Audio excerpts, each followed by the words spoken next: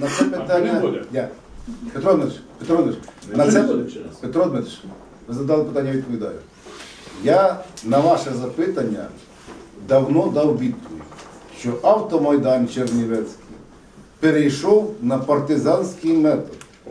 Для чого? Для того, щоб е, коли ми їхали в Глибоцький район, напроти нас виїжджала міліція, яка фіксувала всі номери. Тут навіть деякі, є присутні телеканали, які безпосередньо показували кожен номер.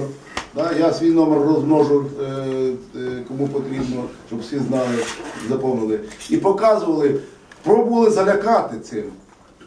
І висловили мою точку зору, і то, що я сказав, що я буду порушувати ті антизаконні, антинародні закони, які існували на щастя, е, які були прийняті 16 грудня.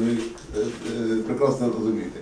І тому всі дії подальші автомайдану ми озвучувати не будемо. А те, що ви назвали, ви назвали дуже слушні запитання. Да.